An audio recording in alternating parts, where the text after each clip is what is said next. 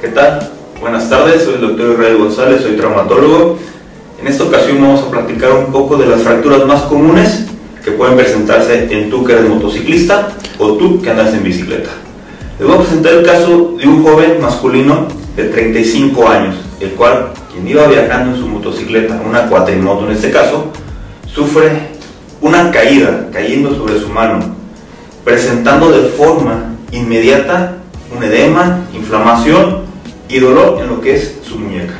Vemos en una radiografía que tenemos proyecciones de frente y de lado, donde vamos a observar esos trazos de fractura donde están afectando la anatomía normal de lo que es nuestro hueso. De esta manera, el tratamiento en estos casos es reducir esa fractura, dejándolo lo más anatómicamente posible, colocando unos implantes que se van a quedar ahí en el cuerpo. Son unas placas de titanio o placas de acero. Lo más común es utilizar unas placas de titanio.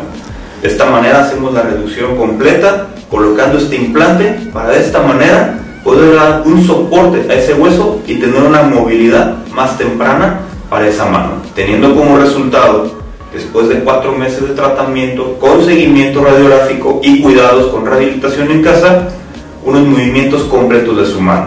Como podamos observar, esos movimientos son de flexión y extensión de sus manos, rotación de sus muñecas y cómo completa sus movimientos de flexión y extensión de esas manos. Como verán, esto es algo muy común que podemos observar en ustedes que son motociclistas o ciclistas o inclusive en la población general, teniendo unos excelentes resultados con los médicos apropiados.